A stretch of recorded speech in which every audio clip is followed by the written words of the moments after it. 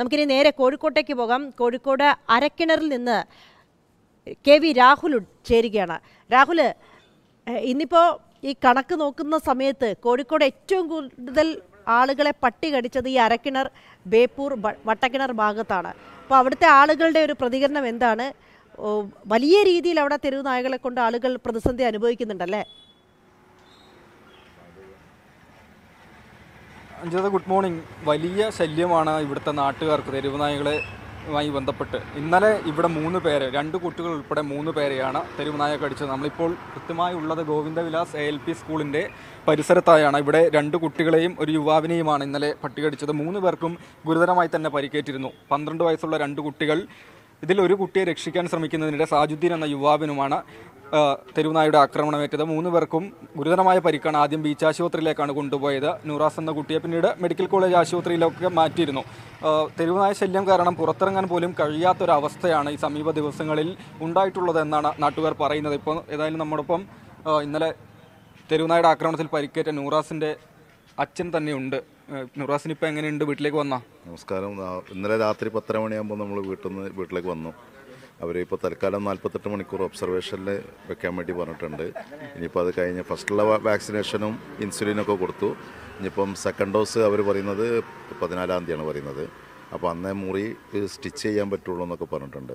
അപ്പോൾ മുറിവ് സ്റ്റിച്ച് ചെയ്യാനുള്ള ഒരു കൺഫർമേഷന് വേണ്ടിയിട്ടാണ് ഞങ്ങൾ മെഡിക്കൽ കോളേജിലേക്ക് ഞങ്ങളെ വിട്ടത്. അപ്പോൾ അവിടെ എത്തിയപ്പോൾ സർജൻ പറഞ്ഞു അതിന്റെ ആവശ്യമില്ല. നാൽപ്പത്തെട്ട് മണിക്കൂർ എന്തായാലും ഇങ്ങനെ തന്നെ നിൽക്കണം. അത് കഴിഞ്ഞിട്ടേ ചെയ്യാൻ പറ്റുള്ളൂ. കഴുകി വാഷ് ചെയ്ത് നല്ലോണം വൃത്തിയിൽ കൊണ്ടെടുക്കാൻ വേണ്ടി പറഞ്ഞിട്ടുണ്ട്. ഇവിടെ തെരുവുനായനെ എന്ന് പറയുന്നത് ഈ സ്കൂളാണ് ഇതിന്റെ മെയിനായിട്ടുള്ള ഹബ്ബ്. ഇതിലെ വന്ന വഴി നടന്നു പോകുന്നവർക്കൊക്കെ രാത്രി ഒക്കെ വളരെ ബുദ്ധിമുട്ടുള്ള അവസ്ഥയാണ്. പകലും രാത്രിയും ഒക്കെ. ഇനിയിപ്പോൾ ഇന്ന് മുതൽ ഇപ്പോൾ സ്കൂളും കൂടെ തുറക്കുകയാണ്. അപ്പം കൂടുതൽ ബുദ്ധിമുട്ടിലേക്കാണ് പോകുന്നത്. ഇതിനെ ഉന്മൂലനം ചെയ്യാന്നുള്ളത് തന്നെയാണ് നമുക്ക് വേണ്ടത്. അല്ലാതെ വന്ധ്യക്കരണമൊന്നും ഇതിനൊരു പരിഹാരമല്ല. വന്ധ്യക്കരണം നടത്തി നടന്ന കുറേ നടത്തിയ നായ്ക്കളെല്ലാം കൂടെ പാനക്കുട്ടീന്റെ വലിപ്പയക്കുന്നത് എന്താണെന്നറിയില്ല അതിന്റെ ഐതിഹ്യം. എന്തായാലും ഇതിനെ ഉന്മൂലനം ചെയ്യാൻ വേണ്ടിയിട്ടൊരു ഗവൺമെന്റ് ഭാഗത്തു നിന്ന് എന്തെങ്കിലും നടപടികൾ സ്വീകരിക്കണമെന്നാണ് പറയാനുള്ളത്. നൂറാസിന്റെ നൂറാസിന്റെ കൈക്കും കാലിനും അല്ലേ പരിക്കേറ്റ്? കൈക്ക് കാലിന് മുഖത്ത് നെഞ്ഞത്ത് എല്ലാ ഭാഗത്തും ഉണ്ട്. മാക്സിമം നായി യൂട്ടിലൈസ് ചെയ്തിട്ടുണ്ട്. ഇന്നലെ ഇങ്ങോട്ട് പള്ളിയിലേക്ക് പോകുമ്പോഴാണ് അതെ മൂന്നര മണിക്ക് ഇന്നലെ പള്ളിയിലേക്ക് പോകുമ്പം ഈ കോർണറിൽ വെച്ചിട്ടാണ് അറ്റാക്ക് ഉണ്ടായത്. അപ്പോൾ ഇവിടെ ഏകദേശം എത്ര നായ്ക്കളുണ്ട്? ഇവിടെ അങ്ങനെ എണ്ണം പറയുകയാണെന്നുണ്ടെങ്കിൽ ഒരു പത്ത് മുപ്പത് എണ്ണമൊക്കെ ഉണ്ടാവും. ഒന്നും പറയാൻ പറ്റില്ല. കാരണം ഒന്നാമതെന്ന് പറഞ്ഞാൽ ഇതൊരു ഹബ്ബാണ് പിന്നെ ഇവിടെ നടക്കുന്ന ഈ വർക്കുകൾ നടക്കുന്ന വീടുകൾ ഇതൊക്കെ കേന്ദ്രീകരിച്ചാണ് ഇതിന്റെ കേന്ദ്രം. അത് പകരം അവിടെയൊക്കെ പോയി കിടക്കും. അല്ലാത്ത സമയത്തും ഇങ്ങോട്ട് ഇറങ്ങും. ചിലപ്പോൾ കൂട്ടത്തോടോടും ചിലപ്പോൾ കുട്ടികൾ തിരിച്ച് വീടുകളിലേക്ക് കയറും പേടിച്ചിട്ട്. അങ്ങനെയൊക്കെ ഉണ്ടാകുന്ന സംഭവങ്ങളുണ്ട്. ഇപ്പോൾ ഇന്നലെ തന്നെ ഞാൻ വൈകുന്നേരം ഇന്നലെ വൈകുന്നേരം അല്ല ഇന്നലെ രാവിലെ ഒരു ഫാമിലിനെ അങ്ങോട്ട് പോകുന്നില്ല വഴിക്ക്. നായനെ കണ്ടിട്ട് അവർ തിരിഞ്ഞ് എന്റെ വീട്ടിലേക്കാണ് കയറിയത്. അത് കഴിഞ്ഞിട്ടാണ് ഞാൻ എന്റെ പണിക്ക് പോയത്. അതാണ് അവസ്ഥ അവിടുത്തെ. കോഴിക്കോട് ജില്ലയിലെ ഏക എ ബി സി തെരുവുനായ വന്ധ്യംകരണ യൂണിറ്റ് പ്രവർത്തിക്കുന്നത് കോഴിക്കോട് കോർപ്പറേഷനിലാണ്. കോർപ്പറേഷന് കീഴിലുള്ള സ്ഥലമാണ് ഇവിടെ. ഇവിടെ വന്ധ്യംകരണ യൂണിറ്റ് ഉണ്ട് കോർപ്പറേഷന് കീഴിൽ. പട്ടി പിടിക്കാനൊക്കെ ഇങ്ങോട്ടേക്ക് വരാറുണ്ടോ? നമ്മളിതുവരെ ശ്രദ്ധയിൽപ്പെട്ടിട്ടില്ല. വന്ധ്യീകരണത്തിന് ആൾ വരുന്നതോ പിടിക്കണോ ഇപ്പോൾ ഇവിടുത്തെ നായനെ സംബന്ധിച്ചിടത്തോളം ഇവിടെ വന്ധ്യീകരണത്തിലുള്ള നായകളില്ല. കംപ്ലീറ്റ് ഇപ്പോൾ മൂന്നോ നാലോ നായ പ്രസവിച്ചിട്ട് അതിന്റെ കുട്ടികൾ തന്നെ അതിന്റെ ഉള്ളിലുണ്ടായിരുന്നു.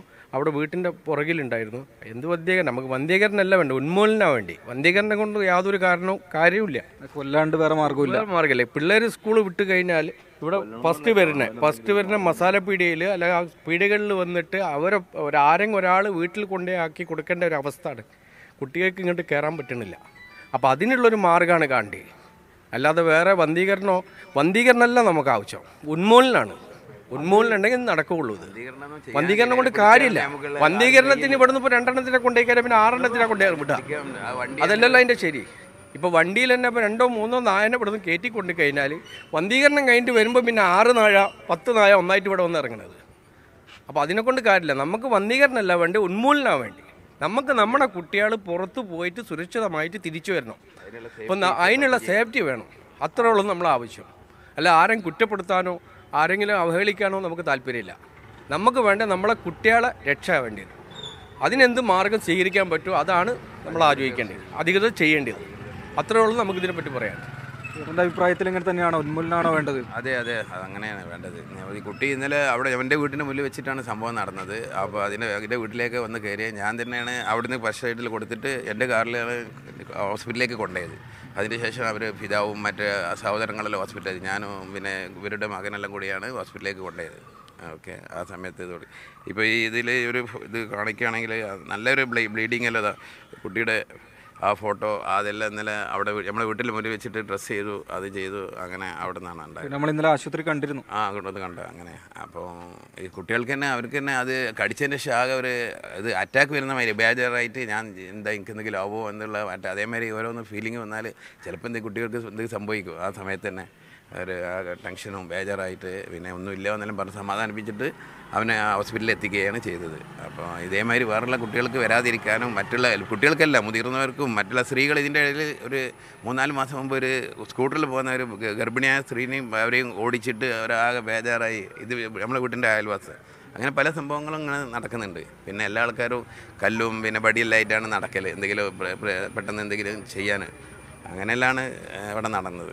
പേടി കാരണം കല്ലും പടിയൊക്കെ എടുത്തിട്ടാണ് നടക്കുന്നത്. ആ ചില കല്ല് ഇപ്പൊ ഒരാളിപ്പോ നിങ്ങൾ വടിയും കല്ലെല്ലാം എടുത്തിട്ട് നടക്കേണ്ടി വരും. എന്ത് ഏത് സമയത്ത് ഒരു അറ്റാക്ക് നമുക്ക് ചെയ്യാൻ കഴിയില്ല. രണ്ടും മൂന്നും അഞ്ചാറ് നായ്ക്കളൊന്നും എന്ത് ചെയ്യും? കടിച്ച് തിന്നല്ലേ. നമ്മളൊന്നും ചെയ്യില്ല. ഓടിക്ക് ഓടിക്കും. അതാണ് ഇതിന്റെ ഇവിടെ നടക്കുന്ന സംഭവങ്ങൾ അപ്പോൾ അതിനെ ഉന്മൂലനം ചെയ്യാണ് എന്തെങ്കിലും അധികൃതർ വേണ്ട നടപടികൾ സ്വീകരിക്കണമെന്ന് നമ്മൾ ഈ അപേക്ഷയാണ്.